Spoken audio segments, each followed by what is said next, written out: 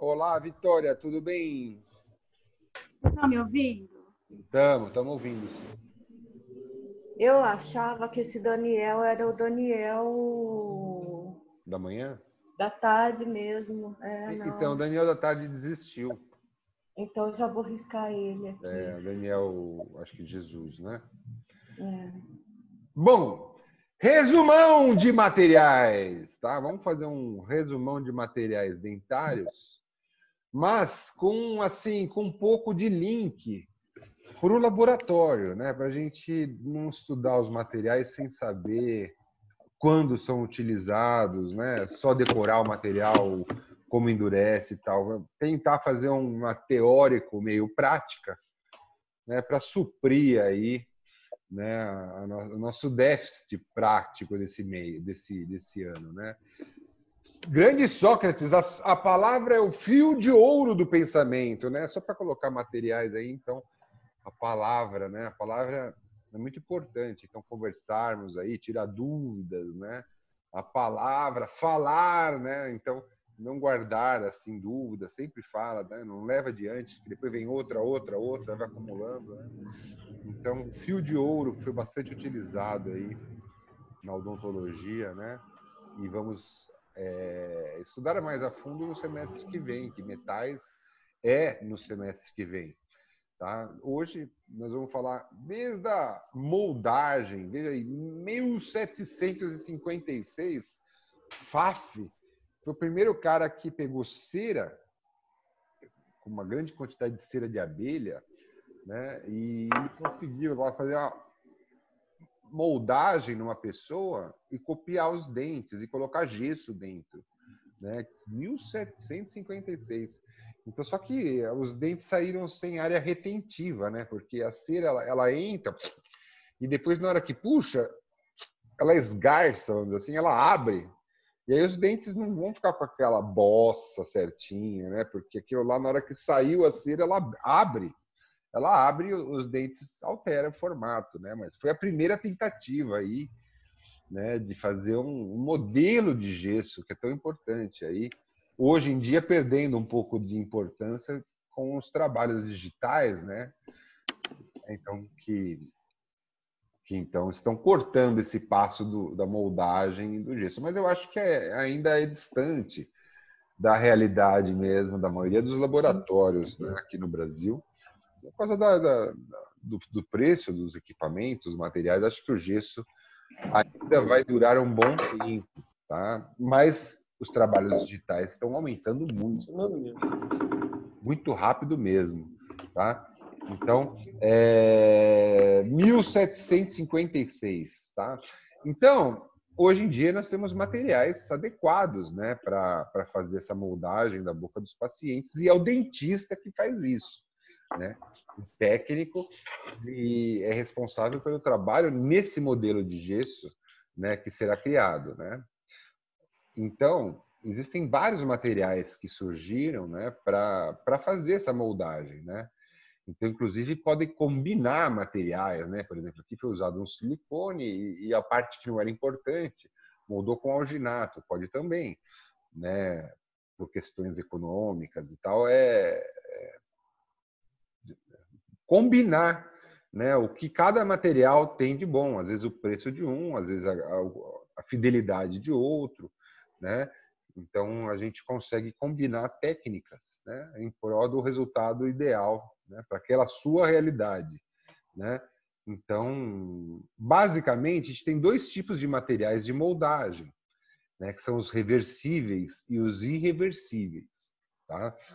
Reversível é aquele que você pode esquentar, ele derrete, ele endurece, aí de esfria, ele endurece, aí derrete de novo. Ele é reversível, ele volta para o estado mais líquido e depois gelifica de novo, né?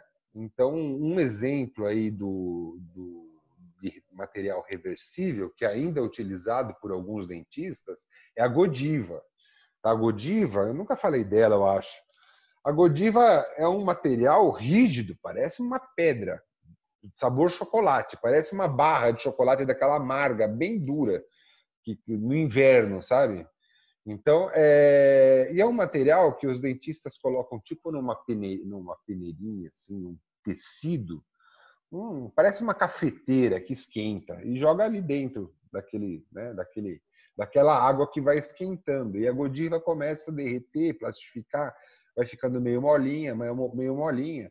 E alguns dentistas gostam de usar esse material para moldar é, prótese total. Né? Parece um chocolatão. Vai lá na boca da pessoa, cuidado para não queimar, não pode derreter demais e ferver o negócio e fritar, é uma temperatura suportável. Né? Vai lá na boca da pessoa, aperta, aí ele esfria e endurece de novo.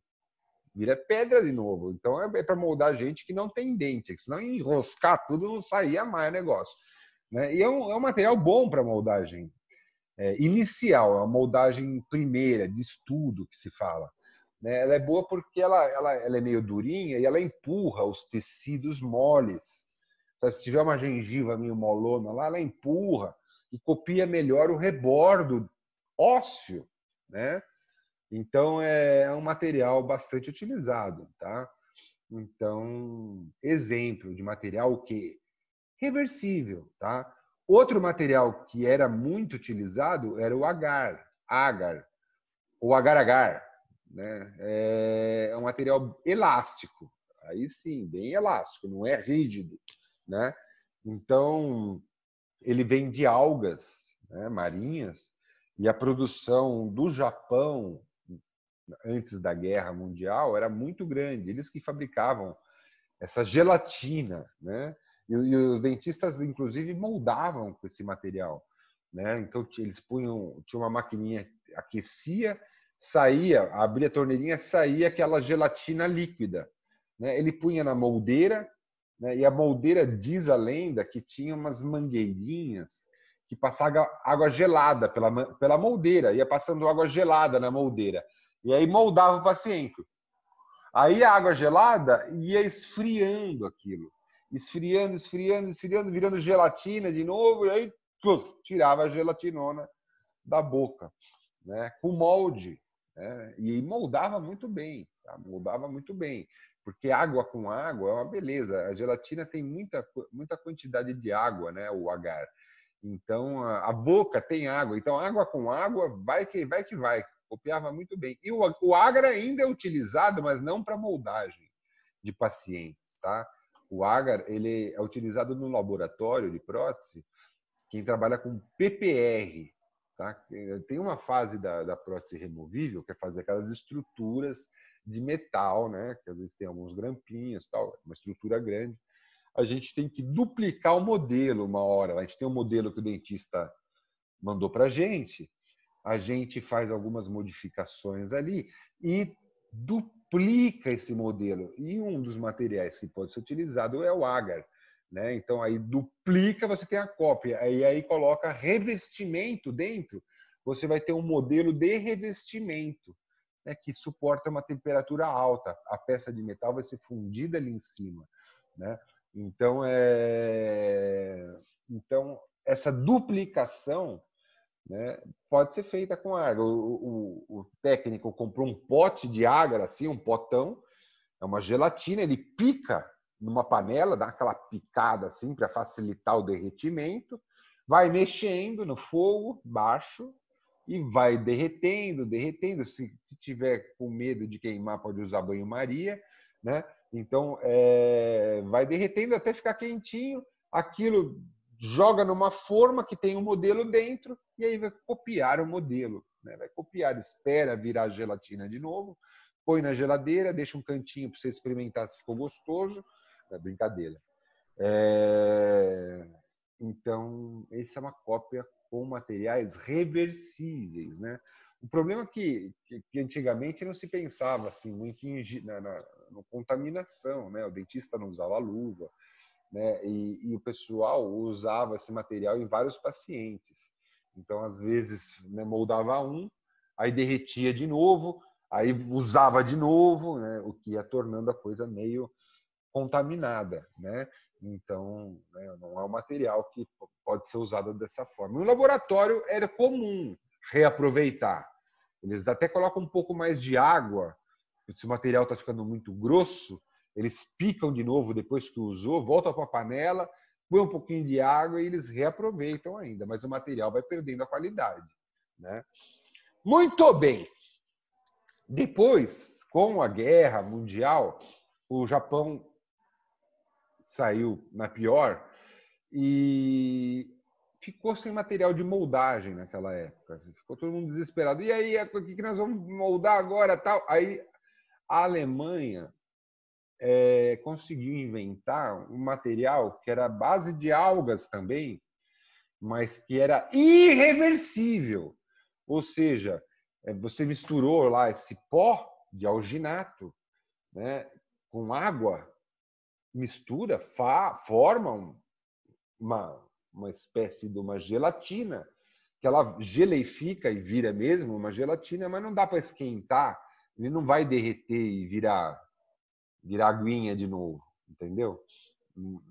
Então é irreversível, é uma reação química que é o alginato de sódio troca com potássio, uma reação química e que aí vira uma gelatina tá? Então, é, é, o alginato vem do ácido algínico, né, que também é extraído de algas, né, e, e é um material gelatinoso. A gente trabalhou com alginato, né, vocês chegaram a moldar o dedo, a gente fez uma cópia para entender o que, que era o que era molde, o que era moldagem, molde e modelo do dedo, né?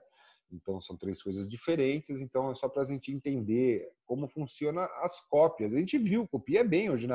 É, as digitais, né? As digitais, né? copia bem. Só que em trabalhos de prótese, que precisa de muita precisão, né? áreas que vão por baixo da gengiva, que a gente viu né? nos preparos que o dentista faz, o alginato ele, ele rasga muito fácil, então não copia bem. Né? Às vezes o material entra embaixo da gengiva, na hora que puxa, ele rasga e o material fica lá embaixo da gengiva.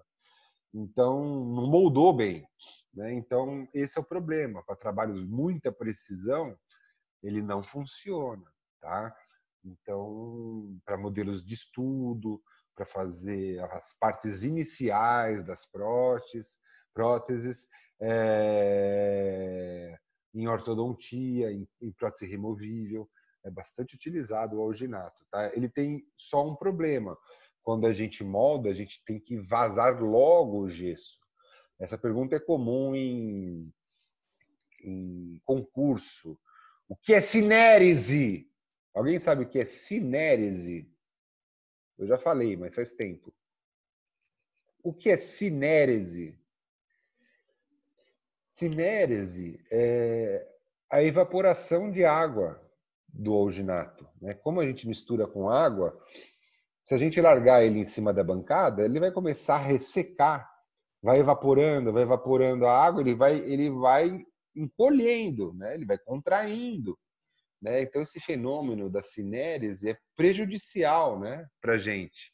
É sempre quando o dentista molda com alginato, lembrando que é sempre o dentista que molda, né? É, se ele te perguntar, posso mandar para você vazar o gesso aí no laboratório. Aí, aliás, tinha um, um professor que falava que essa é a técnica ATL, é um professor é, é falecido, o Tadashi Tamaki. Ele falava que tem muitos dentistas que fazem a técnica ATL, que é alginato telefone laboratório, né? Então, é, molda com alginato já liga. Vai pegar. Então, e, não faz às vezes nenhum estudo, nada, e, e já, já manda. É um problema.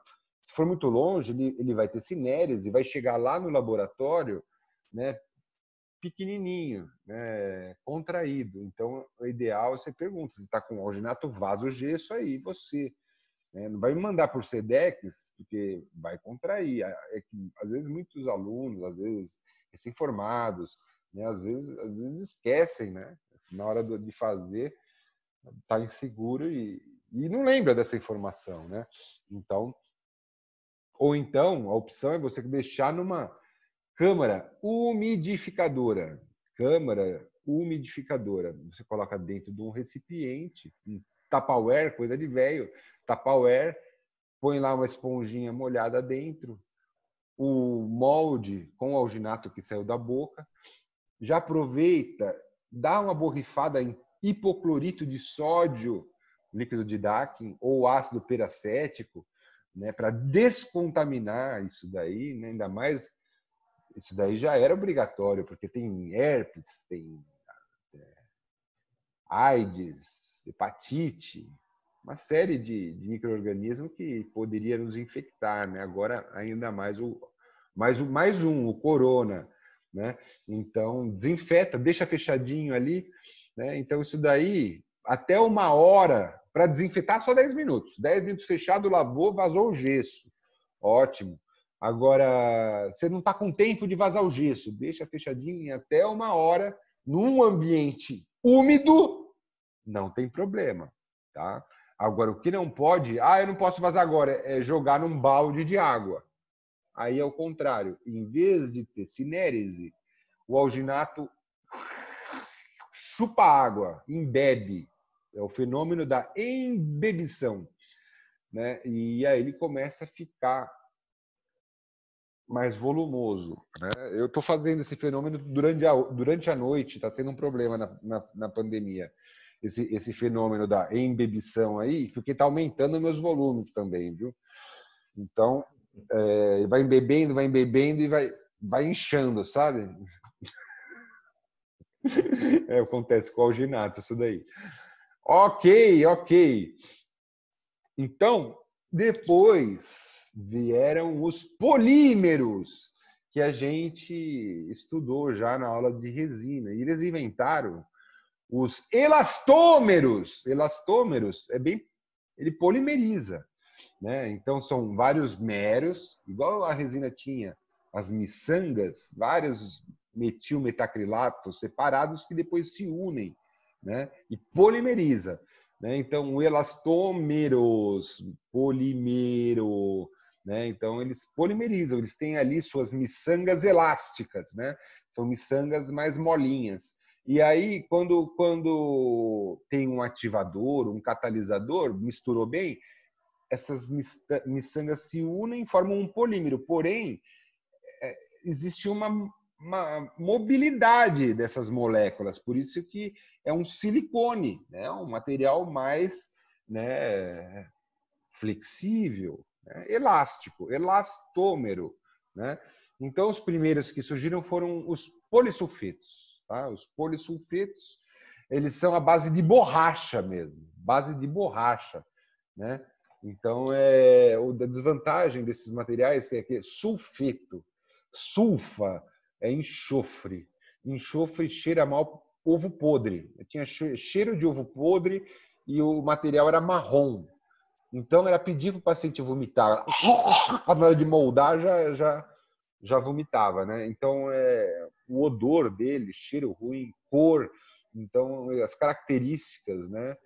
É, de cocô mesmo. Então é, não, deu, assim, ainda é usado às vezes tem foto de livro que eu vou mostrar aqui. Tá? Mas eu mesmo nunca vi mercaptana. É um material que foi bastante utilizado. Né? Depois veio a tecnologia, eles mudaram a cor, né? fizeram coloridinho, é... já tiraram o enxofre da parada, fizeram o sabor hortelã, morango, né? e aí já melhorou. Né? Vieram o silicone. Né? Tem dois tipos: silicone por condensação e silicone por adição. O que varia neles de, de, de maior impacto é o preço. Né? O de adição é muito mais caro e realmente ele tem uma qualidade impressionante. Né? Agora, o silicone de condensação ele não é tão bom porque o nome já diz, é um silicone que condensa. Quando a gente mistura o, o silicone e o catalisador, mistura, vai lá, molda o paciente, e a reação química acontece, ele polimeriza, álcool condensa nesse material, sobra álcool na reação química. Esse álcool ele evapora e acaba causando uma pequena contração nesse material com o decorrer do tempo. Né? Não compara com o alginato que está evaporando água pra caramba. Né? É um pouquinho de álcool que sobrou na reação química que vai evaporar depois de um tempo e vai ter uma pequena contração desse material. Né? Então, é um silicone por condensação por causa disso, o nome dele, tá? Quando você vai comprar silicone é, é, para moldagem tal, e, ou para laboratorial, vai estar tá lá escrito se ele é um silicone por condensação ou por adição, tá? O silicone por adição já é um silicone melhorado, porque quando a reação química acontece, as moléculas se adicionam, se unem, sem ter nenhum tipo de resíduo, né, de subproduto. Então, não tem esse álcool aí que, que sobrava no, no silicone. Então, é apenas adição das moléculas sem sobra de nada. Então, é um silicone que copia e pode basar um mês depois. Você moldou, dentista moldou, vai vir do Amazonas, pode mandar, manda, que esse aí eu posso fazer até mais de um modelo. Dá para fazer o gesso uma vez, o modelo duas vezes, três vezes, que ele aguenta melhor, a resistência dele é melhor, tá? E por isso é um silicone mais caro, tá? E o poliéter é um material de moldagem que parece muito silicone visualmente, né? Também tem duas pastas é, e, e colorido. Então, às vezes a gente recebe do laboratório, fica difícil saber se é silicone por condensação, por, por adição e poliéter são materiais bastante parecidos. Né? Pela cor e a experiência, a gente acaba sabendo que tal marca é laranja, né? tal marca é outro. Então, é... então, pela cor, a gente acaba identificando até o material que é. Mas, realmente, não sei se é importante. O dentista que deveria saber se é por condensação e adição e, se for por condensação, vazar o gesso. Né? Não, não deixar para mandar para o laboratório, porque ele vai ter uma contração. Tá? Mas também, se mandar, é pouca contração, não é tanta assim. Talvez não interfira no trabalho, tá? Talvez interfira pouco, né? mas interfira. Então, o ideal era, era vazar o gesso quando é silicone por condensação, também dentro dessa primeira hora aí, tá? Em que o material está estável, tá? Muito bem, são materiais que podemos usar no laboratório para N, N é, finalidades, mas o dentista usa para moldar o paciente, tá? Então, veja aí um exemplo de silicone por condensação. Esse daí eu usava na época que eu fiz faculdade, é bem antigo. É o Ptosil Chantopren. Então, é, é um silicone ele da, de uma fábrica que é alemã e que mistura, né? Ela mistura, ela tem um, um revolvinho, a maioria das marcas tem isso, né? Eu tenho 10 minutos, depois a gente volta, tá? Então, quando a gente, é, o dentista aperta, o sistema já mistura o catalisador e a base, e já sai misturado lá na pontinha. E o dentista já põe lá na boca do paciente, nos lugares que tem que copiar. Geralmente, esses materiais, eles têm duas ou três tipos de consistência, né? Por exemplo, aqui tem, um, tem uma lata de sorvete aqui, ó. Tá vendo? Essa lata aí tem um, é um pote de massa. É um material denso.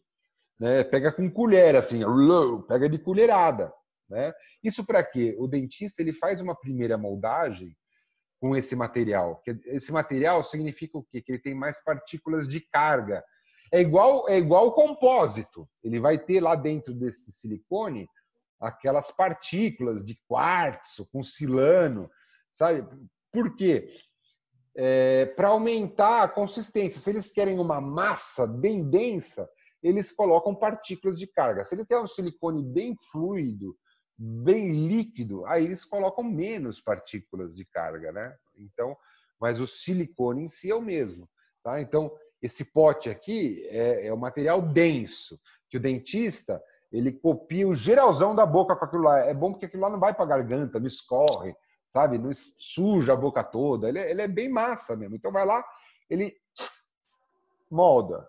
Ele praticamente fizemos uma moldeira individual. Agora só cabe naquele paciente, não vai, não, não vai ter como moldar outra pessoa com aquilo, até porque é nojento, mas, é, mas só cabe nele, né? Porque copiou a boca dele, não copiou os detalhezinhos, por baixo da gengiva não foi, deu umas bolhas em algum lugar, né? Porque o material é, é, é uma massa, não vai copiar tão bem, né? Então, mas tudo bem.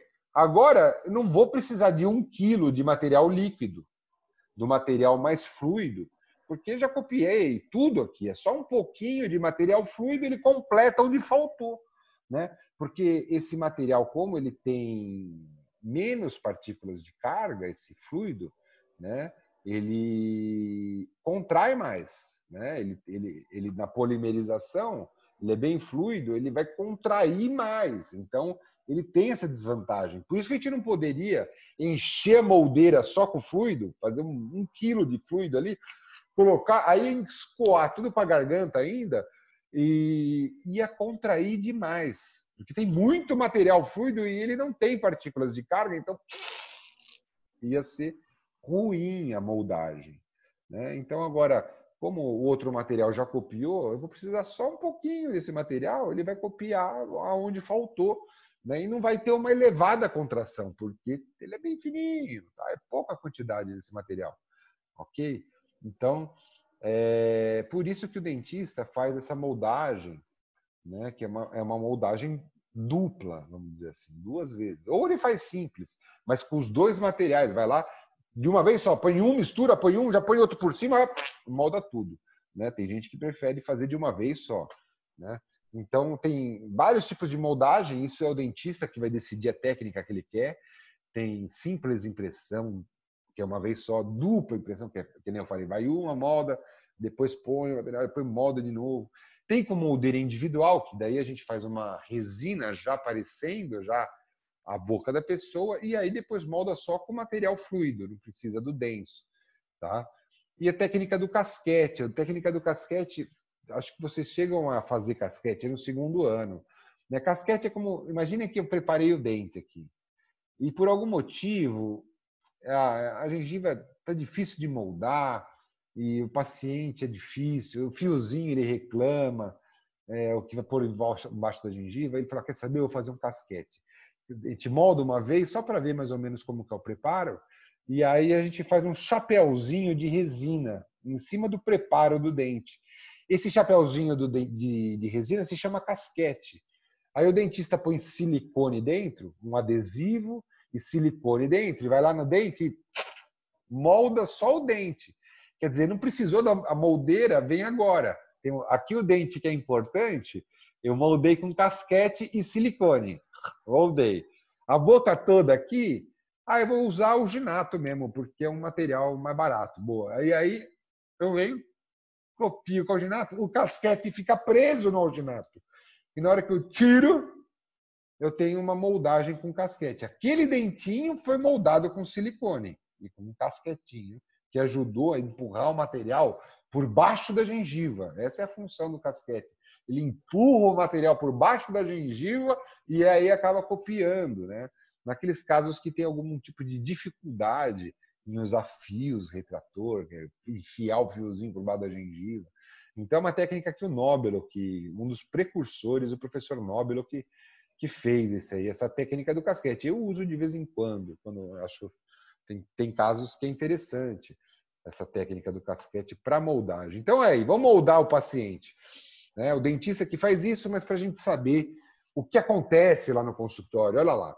Então, ele tem lá a massa, que é a parte densa, né, que é o catalisador, e a base. E ele mistura esses dois. Tem uns que são dois potes, tem uns que é uma bisnaga, e você tem que ter, respeitar a bula, né, respeitar a bula do fabricante e ver quanto catalisador vai. Né? Então, varia de marca para marca.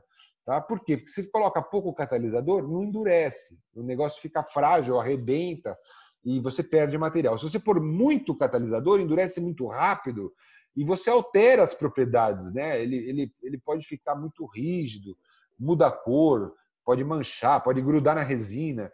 Ele pode mudar as propriedades dele. Né? Então, é, segue o fabricante, mistura direitinho, tira todo o mármore que tiver de cor diferente, deixa de uma cor só. E aí é assim que a gente vai trabalhar com o silicone. O dentista molda o paciente. Né? Então, olha lá, moldou o paciente, ele já provou a moldeira antes, viu a moldeira que se servia, não machucou, copiou lá um geralzão dos dentes do paciente com algumas falhas. Né? Tem lugar que deu uma bolinha, Né? Mas não, tudo bem, aí tá, tá mais ou menos copiado, com material denso, silicone. Ok, eu acho que esse silicone é de condensação. Não dá para ver álcool evaporando aí. Nenhum álcool não vai ver. Nem que vai contrair, não é visível. Tá? É microscópico isso daí. Mas tá bom. Então aí eu estou preocupado, eu vou moldar por baixo da gengiva. Esse paciente eu não fiz casquete de resina. Esse aí não, eu vou enfiar o fiozinho por baixo da gengiva. Essa é foto do livro do um autor chama Pegoraro, né? Então, de prótese fixa. Então ele foi lá e colocou esse fiozinho retrator por baixo da gengiva. Dói um pouquinho, mas não dói. Incomoda um pouco, o paciente aguenta firme. tal. E aí depois, uma outra foto, colocou aí o fiozinho no outro dente para quê? Para afastar a gengiva e, a, e, e, o material de moldagem entrar por baixo da, ali da gengiva e copiar aquela região. Então, olha lá, numa onlay, olha lá, o dentista colocou o fiozinho por baixo da gengiva, tal, tem um líquido que ele pode utilizar que, que ajuda a não sangrar, é um líquido hemostático. Aí é opcional, tem dentista que usa, que não usa. Ok, introduz com cuidado para não machucar. Aí mistura o material, na hora de moldar, tem dentista que deixa o fio, tem dentista que tira o fio. Tá? Então aí tirou o fio e vai lá rápido injeta o silicone para entrar lá dentro daquele suco, lá dentro onde o fio estava, para copiar o quê? A linha de término. A linha de término é onde o dentista chegou com a broca para fazer a prótese. É ali que fala, seu trabalho vem até aqui. É a linha de término. Então, ele está copiando aí, injetando silicone, copiando não lei, né? E aí, dessa forma, depois que o material polimeriza, ele vem com a moldeira, introduz na boca, espera polimerizar, né? aquela primeira moldeira lá que ele copiou antes, né? Então, é, com material denso, né? e aí com o material fluido por cima, copia de novo, e aí sim, aquelas bolinhas que tinham antes sumiram, copiou por baixo da gengiva, ó. a gente consegue enxergar a linha de término, tá? a linha de término, isso que é importante, a gente consegue enxergar aqui, ó, o término né, do trabalho que a gente vai fazer. Isso é importante para o modelo de trabalho aí, a gente enxergar essa linha de término. A gengiva que fica em volta aqui, a gente remove, inclusive. A gente remove essa gengiva na hora de fazer o trabalho para a gente enxergar mesmo só o dente. Né? Então, isso é o preparo do troquel que eu vou falar agora quando a gente voltar nesse processo de troquelização que a gente faz no segundo semestre. Não vamos fazer esse semestre, mas no segundo semestre vamos, tá? Então, esse gesso todo aqui é removido para que a gente expor a linha de término. Olha que bonito, fica parecendo um sol isso daqui, né? Então, é, esta é a linha de término, tá? É só clicar no mesmo link, viu, pessoal?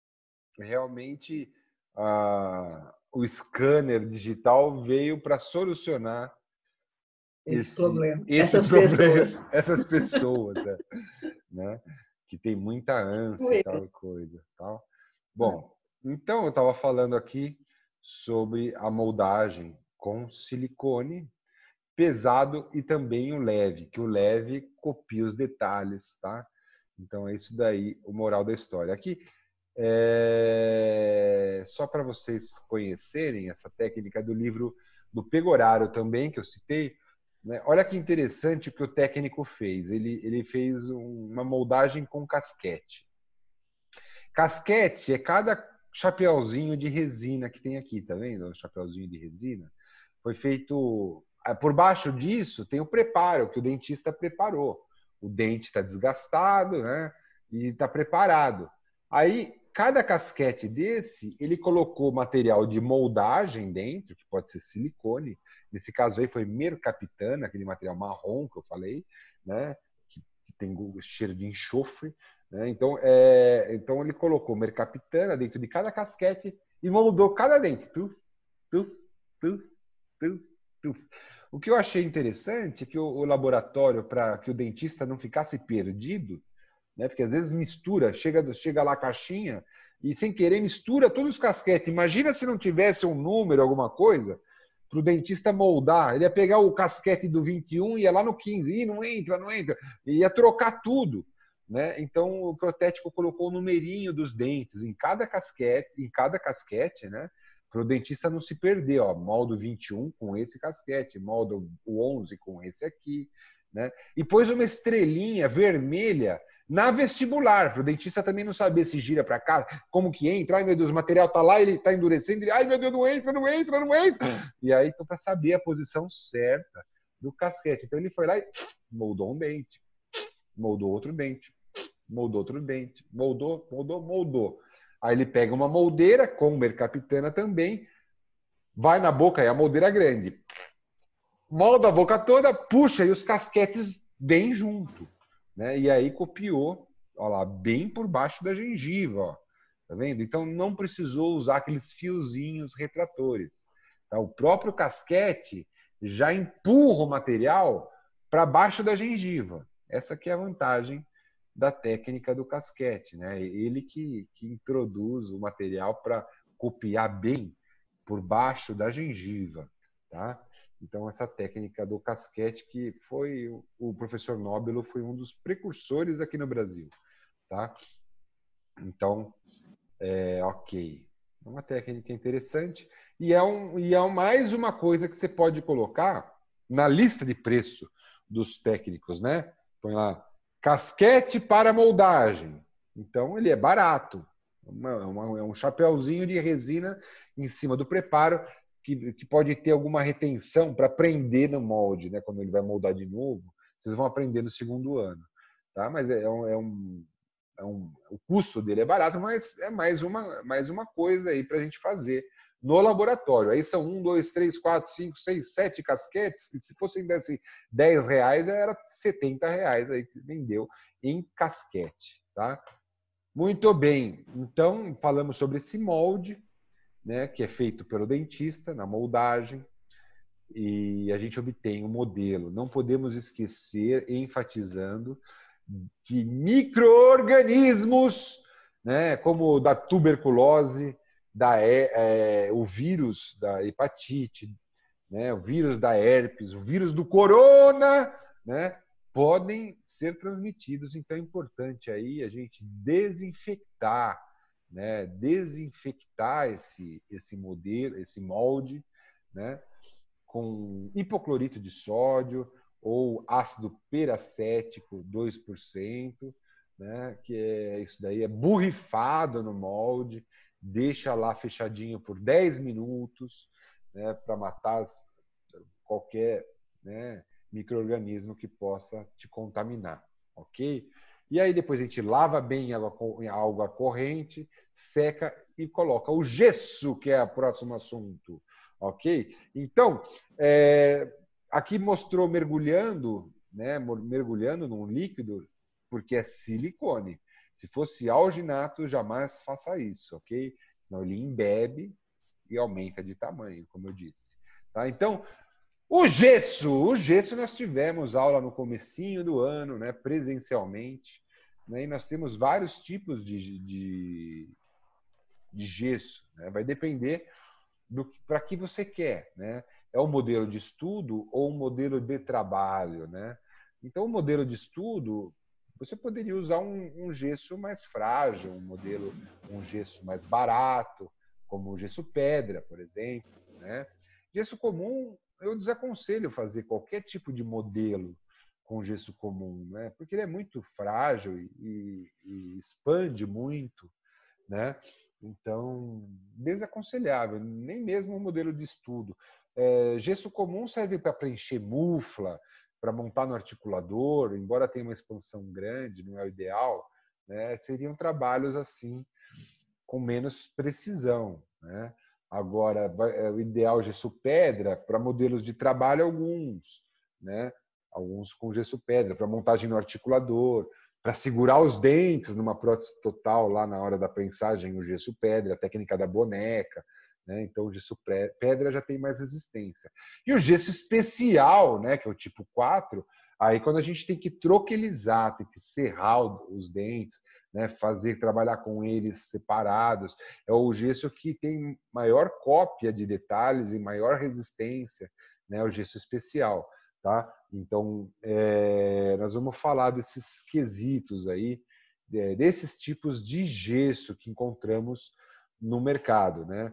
Então, para modelo de trabalho, é importante que aquele modelo de trabalho tenha uma, uma duplicação exata dos dentes e tecidos é, vizinhos do paciente, permitindo a visualização das linhas de término, aquela linha onde vai terminar nosso trabalho dos preparos e a adequada articulação dos modelos, para a gente saber, né, montar no articulador, ver ali onde é a lateralidade, né? Então, a adequada articulação dos modelos para a gente poder fazer qualquer trabalho bem feito, né? Então, os tipos de gesso é o gesso tipo 1, Paris, que nem existe mais, né? Eu nunca vi esse tipo de gesso, que é o gesso que o cara fez o modelo em 1700, o PFAF lá. Né? Então, era um gesso bem antigo, já era utilizado também para moldar pessoas, esse gesso. Né? Então, eu não conheço esse tipo de gesso antigo. O comum para nós é o tipo 2. Né? O tipo 2 é o, é o gesso comum. Tá? Vamos deixar claro que é diferente do gesso estuque é, de construção civil. Você vai lá no negócio de construção e compra o gesso estuque. Ele é hum. comum naquele também, mas ele não é odontológico. Né? Então, o pó dele é grosseiro, ele vem com bastante é, contaminação. Né? É um gesso sujo, né? que não, não, é, não é tão trabalhado para utilizar na área de saúde. Né? Então, quando a gente compra um gesso comum, ele não é tão comum assim. Né? O gesso odontológico ele foi trabalhado para servir para as nossas indicações. Né? Então, não é a mesma coisa né? ir lá na, na construção e comprar gesso de construção. Você vai sair perdendo em tamanho da partícula, em, em expansão, mais ainda, ele vem em contaminação de, de outras coisas. Né? Então, o gesso odontológico, ele, ele, você percebe que ele tem né, suas características melhoradas. Tá? Tanto, tanto, é que vem gesso comum, reforçado, muitas vezes está escrito, né, porque ele foi melhorado, tá bom? Então, é o tipo 2. Mesmo assim, é um gesso ruim. Né? Mesmo assim, é um gesso ruim, porque ele tem partículas beta. Partículas beta são partículas grandes. Né? E quando mistura com água, ele precisa de muita água o gesso comum vai mais ou menos 50% de água.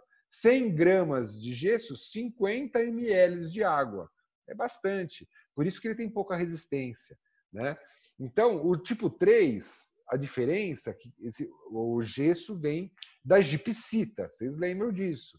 Né? Então, a gipsita, que é um mineral extraído né, do solo, ele é triturado e ele passa por caldeiras né? e, e desidra, desidrata a gipsita. A gipsita é sulfato de cálcio dihidratado, ou seja, tem duas moléculas de água. Quando passa pelas caldeiras, a água evapora e fica sulfato de cálcio N-hidratado, é meia molécula de água. Tá? E aí, assim, eles fazem o gesso. Tá? Quando faz o gesso pedra, essas caldeiras de aquecimento, é fechada e tem pressão. Então, o gesso ele forma partículas alfa. As partículas alfa são partículas menorzinhas que vão precisar menos água para umedecê-las.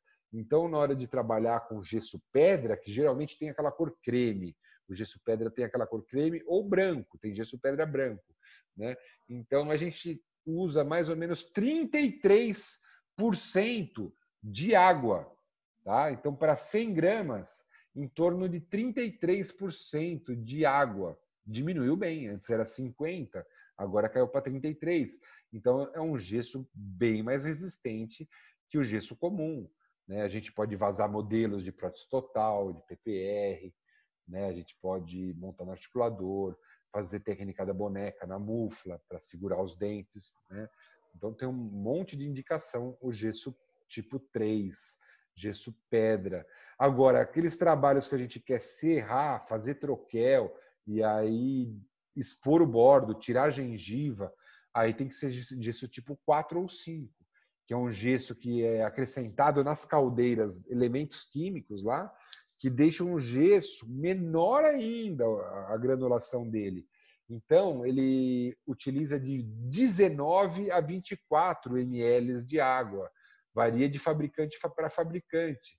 né, de, de dizendo, vai, 20 ml de água, mais ou menos, tá? Você vê, comparado com 50 ml, é menos que a metade, né? Então, é um gesso muito duro, bem resistente mesmo, tá? O gesso especial. O gesso tipo 5 é igual ao 4, só que ele expande um pouco mais, né? Ele é feito com um pouquinho de agentes que causam expansão e aí, em alguns casos no laboratório, que a gente tem dificuldade de, de, de algum tipo de prótese, por exemplo, fundida, não está encaixando bem, a gente muda o gesso para ver se tem uma expansão maior, para ver se as peças encaixam melhor na boca, por exemplo. Tá? Então, tá, é um lugar para que você tem para correr quando você quer mais expansão. Você acha que suas peças estão ficando pequenas e não estão encaixando bem no, na, na, na, o dentista está reclamando que não está encaixando a peça, você fala, pera, quer saber? Eu vou mudar o gesso tipo 5, que expande um pouco mais, e aí as peças vão ficar um pouquinho maiores, e aí, quem sabe, esse dentista para de reclamar. Né? Então, é, é, é uma alternativa que você, eu, eu nunca usei, não, não, precisei, assim, é, por causa de adaptação, mudar o tipo de gesso. Né? Eu uso quatro, mas eu sei que se, se eu tiver algum problema, começar a ter problema, e eu que quiser que as minhas peças fiquem um pouquinho maior, que eu fizer, eu mudo o gesso para tipo 5, porque ele expande um pouco mais. Tá? É esse daí vende na dental também. Você tem do 1, do 2 ao 5, a gente tem para trabalhar né? e vai aumentando o preço. Ok. Então, com esse gesso, é importante a gente seguir essa proporção correta de água e pó, tá? É, o gesso comum e o pedra, como eles têm maior quantidade de água, a gente consegue, com a experiência, embora seja sempre ideal medir água e pó, medir água e pó, a gente erra menos, porque ele já vai muita água. Agora você pega um gesso especial que vai 20 ml de água só. Se você erra 5 ml, que não é nada, você errou 25%. É um baita, de, baita erro de, na quantidade de água. Então, um pouquinho água que você erra no gesso especial é um erro muito grande. Então, é um gesso bastante caro. É, o ideal é você trabalhar sempre com previsibilidade. Como que vai ficar aquele gesso? Eu sei como ele vai ficar quando eu misturo 100 gramas com 23 ml, com 24, de acordo com o fabricante tá? Então, é importante você adquirir essa experiência com números, não só no tato, porque no tato às vezes a gente erra muito, tá? Então, a gipsita é um mineral extraído em várias partes do mundo, mas pode ser também obtida por meio de alguns processos químicos. O mineral utilizado para fins odontológicos é o sulfato de cálcio dihidratado, porque tem duas moléculas de água. E é encontrado na natureza, e ele é triturado, e aí passa por um processo de calcinação em caldeiras e se transforma no gesso. Né? E o gesso, quando a gente mistura com a água, ele hidrata de novo, ele desidrata de novo. Oba, tiraram água de mim, agora eu ganhei água. E aí ele acaba liberando o calor. Né? Da mesma forma que a gipsita precisou aquecer para virar gesso, quando a gente dá água para o gesso, ele aquece e praticamente vira gipsita de novo, né? Então virou um sulfato dihidratado quando ele toma presa, né? E começam a crescer no gesso depois que ele hidrata, depois que ele absorve a água, né? Ele começa a crescer cristais, cristais. Então lá naquela água misturada com sulfato de cálcio hidratado e ele vai hidratando, vai formando cristais que vão crescendo, cristais de dihidrato, né? cristais de gesso dihidratado, vai crescendo, vai crescendo. Aí, se eu trituro mais, se eu misturo mais, esses cristais quebram em dois, três, em quatro e formam mais cristais. Se eu quebro mais, forma mais cristais. Então, a gente tem um tempo para espatular. Porque se eu fico lá misturando cinco minutos, ele vai tomar presa e você não vai conseguir nem colocar no molde, porque tem tantos cristais endurecendo ao mesmo tempo que bluf, endurece. Então, o ideal é você seguir para o fabricante. O fabricante fala para espatular geralmente por um minuto. com vigor. Então, com minutos, você manda ver na espatulação, põe primeiro o líquido, depois o pó, espatula com vigor, que você vai ter o quê? Um gesso com maior resistência possível num trabalho que dá tempo de você vazar, né, verter o gesso no molde, não vai começar a endurecer do nada, tá? Então, segue o fabricante.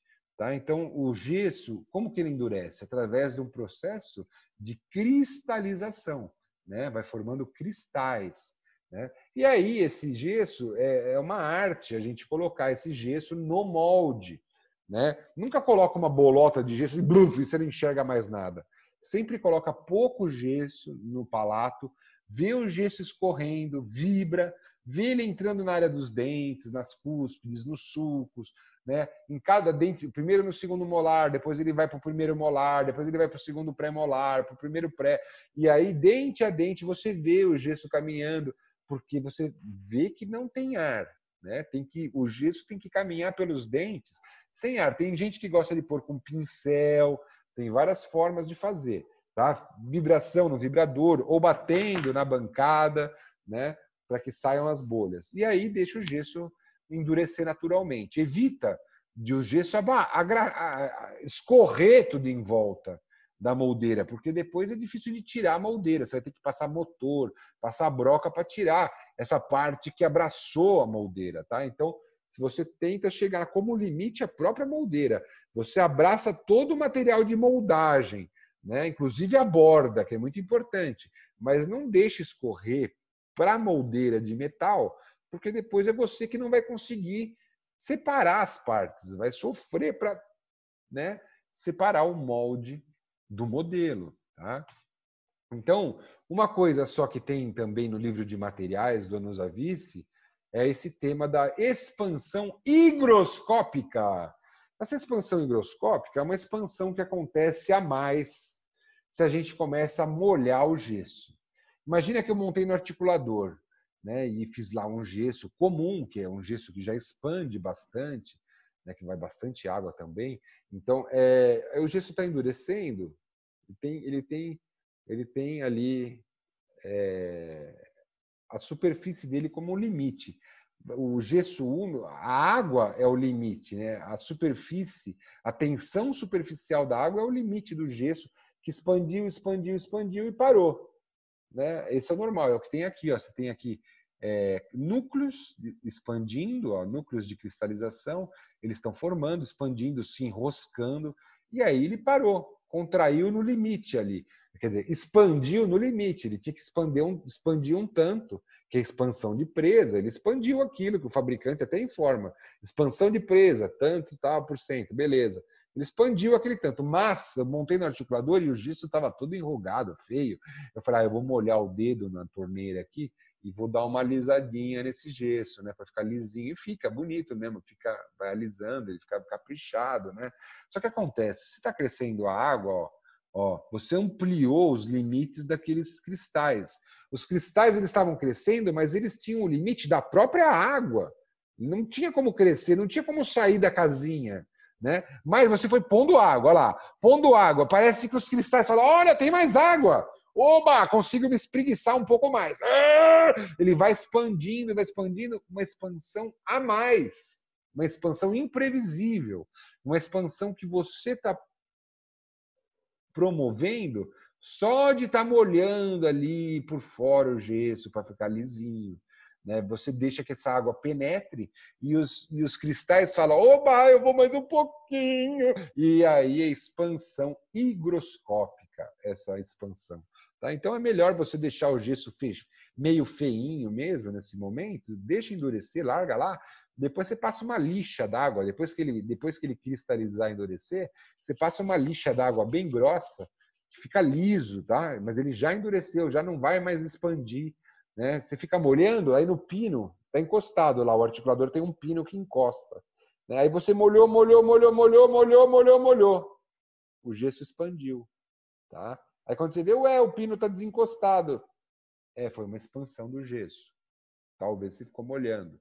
Não molhei nada. Então, às vezes a gente põe um peso em cima, né? Põe um peso em cima do articulador para segurar essa expansão para cima, aí, né? Põe um tijolo ali em cima do articulador enquanto o gesso está endurecendo. No articulador, isso, né? Quando está montando o modelo no articulador, a gente põe um pezinho em cima para segurar o gesso, porque ele expande mesmo, tá? Ainda mais se molhar. Ufa! Aí sim nós chegamos no ponto de ter o quê? Um troquel, né? um, um preparo. Aí vocês precisam estudar para a prova os princípios dos preparos também, né? Que o dentista vai fazer na boca e às vezes a gente tem que fazer para fazer provisórios, né? Então, a expulsividade de 6 graus, né? a conicidade de 6 graus, né? as paredes expulsivas, o formato reduzido do dente, no sentido de ter, se é um premolar, ter duas cúspides, o sulco no meio, né? respeitando o formato, né? deixando um espaço uniforme para o trabalho que vai ser realizado. Né? Então, todos aqueles princípios. E aí nós vamos no segundo semestre troquelizar. Não vou falar muito de troquel, porque existem muitas técnicas, né, antigas e novas, e, então não é o assunto, tá? Mas a gente vai no momento que a gente tem um modelo, finalmente poder esculpir o dente que nós tantos tanto estudamos anatomia e oclusão. Né? Chegou o momento, já sabemos o que é gesso, o dentista já moldou, temos um modelo de um paciente, um caso de uma pessoa que precisa de dente. Então, nós vamos esculpir os dentes. Tá? E nós, os materiais bons para escultura são usados é a cera e a resina acrílica. Né? A resina acrílica que também tivemos aula. Então, a cera é o principal material, é utilizado muito em, em todos os tipos de prótese, né? porque pela facilidade de você acrescentar, remover, esculpir, e ela, e ela é volátil, quando a gente quer eliminar ela, esculpir, depois queimar, eliminar, ela sumir, ela derrete, ela queima, ela evapora, não deixa resíduo, né? Então, são materiais que a gente usa para escultura que são termoplásticos, né? Que, que depois eles podem ser derretidos e tem um escoamento e depois pegam fogo, volatiza e não deixa resíduo. No caso de coisas que a gente vai fundir ou prensagem de cerâmica, né, que a gente faz em cera também, para cerâmica depois aquele dente vira cerâmica prensada. Então não pode deixar resíduo lá dentro, né? Não poderia fazer um dente de madeira, por exemplo, porque ela não vai escoar, não vai escoer, escoar essa madeira, ela vai pegar fogo, vai ficar um monte de carvão ali dentro que o, a cerâmica prensada vai entrar e vai contaminar e não vai dar certo. Então, o material que a gente escolheu para usar tem as características que eu falei, é, são termoplásticos, eles derretem, depois volatizam, tem a, tem, volatilizam, né? depois a facilidade de trabalhar com eles, né? facilmente encontrados, né? aquecido a gente esculpe, né? então a gente consegue a obtenção de negativos descontaminados para colocar nosso material, seja resina, quero prensar uma resina, termo, ok, a cera limpou, está descontaminado, não tem mais cera, lavou, está o espaço vazio para a gente trabalhar. Né? E a cera é, é, fantástica, né? ela que vai ser nosso guia para fazer estudos. Né? A gente tem enceramento de diagnóstico, é o nome. É, a gente tem a boca da pessoa, os dentes, ah, eu queria aumentar um pouco. Né, daqui, que, então a gente vai lá com a cera, acrescenta por cima do, dos dentes mesmo, né, vai aumentando os dentes, é, conserta onde está quebrado, põe mais volume, e aí a gente chega no resultado que a gente quer chegar, né? Então, por isso que a escultura de diagnóstico é para diagnosticar, para a gente saber para onde nós vamos nossa carruagem, né? Tenho 10 minutos, mas está bem, está bem no horário. Então, é... na prótese total, por exemplo, a mesma coisa para fazer a dentadura, olha que beleza, é a cera que vai determinar o que é a altura primeiro, né? Vamos lá, vamos ver a altura da DVO, lembra da DVO? Vamos ver, porque a pessoa não tem dente e não tem DVO, como é que ela vai ocluir se não tem dente? Então vamos fazer a DVO dela. Será que é muito alto? Será que é mais baixo? Então, de acordo com a altura da cera, da cera o dentista determina a DVO ideal. E aí o técnico respeita na hora de fazer os dentes aquela DVO, não pode aumentar nem diminuir né? porque aquilo foi feito na boca.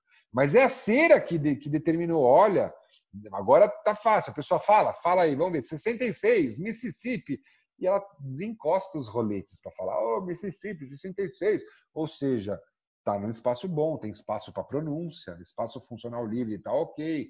Né? Então, a linha média, já que o meio do rosto é aqui, a linha do sorriso, é onde a altura dos dentes, está tudo planejado para comprar dente e colocar ali. Né? Então, a cera é um material muito utilizado em todas as áreas da prótese. Tá? E aí, um material muito utilizado também é o silicone de laboratório. Né? Nesse caso, estou falando de uma marca, mas tem várias marcas. O bom dessa marca é que ela tem uma dureza 85, aqui é uma, é uma dureza assim elevada, um silicone bem durinho. Isso é bom porque segura os dentes na posição, ele não altera, né? É um silicone bem rígido, né? Um silicone para laboratório, né? Esse silicone aí, tá? Então a gente tem um catalisador, tal, e a gente copia aqueles dentes que a gente a gente tem que a gente esculpiu os centrais, por exemplo, né? E essa cópia se chama muralha de silicone. A gente usa para fazer, por exemplo, os provisórios, né? Então a gente esculpiu os dentes em cera, copia com silicone, a gente já tem a cópia, e aí tira a cera e aí põe resina no lugar e aí a gente faz os provisórios. É por isso que eu estou falando. É, é o silicone, ele tem uma ampla uso no laboratório, né? por exemplo, para fazer provisórios. Nós vamos utilizar para fazer provisórios. Nós vamos copiar a nossa escultura que a gente fez com silicone, depois a gente tira a cera e põe resina no lugar. É assim que a gente vai fazer provisórios, tá? Uma das técnicas. E olha lá, para fazer trabalhos mais complexos, como protocolo, né, que é uma barra de metal que vai unir os implantes e vai ter uma dentadura ali presa nisso, né? Então, olha lá, ó, a gente tem o silicone, que, que é uma cópia da dentadura, né? Uma cópia da dentadura. Ele copiou o dente ali, olha lá. Agora a gente consegue o que? Planejar essa estrutura que vai ficar por dentro. Aonde será que é o lugar melhor para colocar uma barra de metal? Será lá que é lá perto da incisal, lá na frente? Ou será que é mais para dentro, aqui onde não aparece? Então a gente consegue assim, né, com aquele silicone que é uma cópia dos futuros dentes, né? Ou, ou da dentadura até que a pessoa possa estar utilizando, né?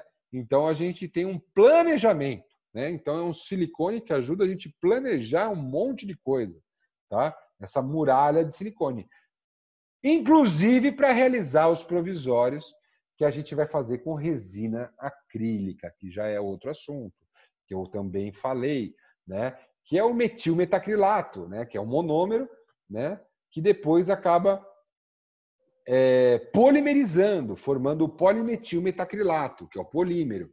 Né?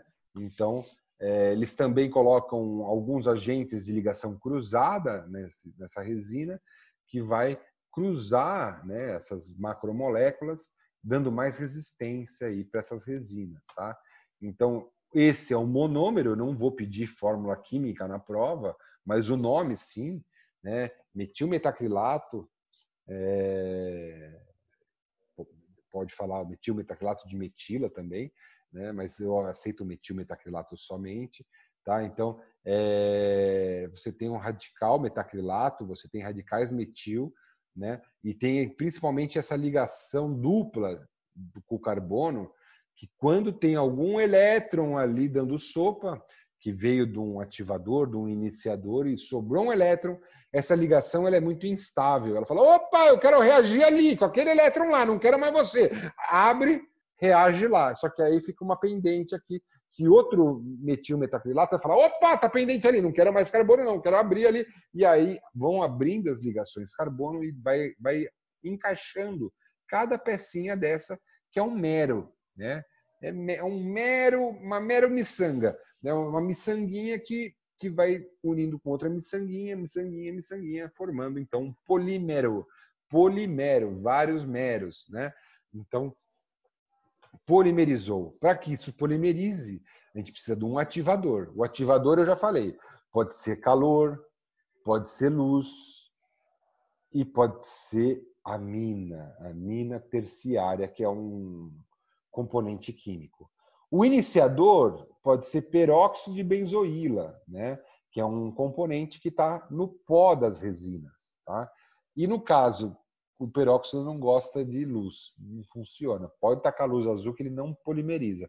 Então a gente vai precisar de um iniciador específico para a resina foto que se chama canforoquinona. Aí o ativador luz atinge o iniciador canforoquinona, libera elétron e aí tem o radical livre que polimeriza. Tá? Então, o ativador nós temos calor, luz e químico. Iniciador, basicamente, peróxido de benzoíla e canforoquinona, no caso das resinas foto. Tá? E aí, então, por isso nós temos a classificação das resinas, que tem as resinas térmicas, que é RAAT, né, que precisam de calor para polimerizar. Tem a resina química, que já tem a mina terciária no líquido, e aí isso vai dar uma reação com o peróxido que vai liberar elétron e polimeriza, que é a resina autopolimerizável ou autopolimerizante, ou RAAC, que é resina quimicamente ativada, e tem a fotoativada, que aí ela precisa de luz, né? E ela precisa do iniciador canforoquinona, e aí é uma, é uma resina que, que Rafa, né? resina acrílica ativada, é fotoativada, tá? Fotoativada, muito bem. E essa iniciação, como eu disse, pode ser o peróxido, né? no caso da, da química também é o peróxido, né? O peróxido ele não resiste o calor e não resiste a mina terciária, né? Tanto faz, ele vai liberar elétron quando ele vier um dos dois. E no caso da iniciação que, é, foto, quem é o iniciador é a canforoquinona. Eu cheguei a mostrar numa das aulas, é um pozinho amarelo que eles acrescentam no material para que ele seja fotossensível. Bateu luz azul, endurece. Ok. Então, isso tem uma gama enorme de coisas para a gente fazer na prótese. Né? Dentaduras são feitas com resina termo, né? o metilmetacrilato, tudo prensado na mufla, é, prótese removível, mesma coisa, os dentes, a resina, né? são, são de resina termo.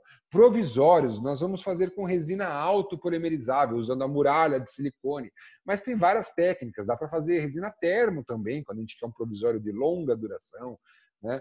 Então, aparelhos ortodônticos, placa de mordida, é, moldeiras individuais, é, conserto, reembasamento, fazer pinos para ser fundidos, né, que também porque eles são voláteis e pode ser usado na fundição, tal. Então, tudo isso aí pode ser feito com resina acrílica, tá?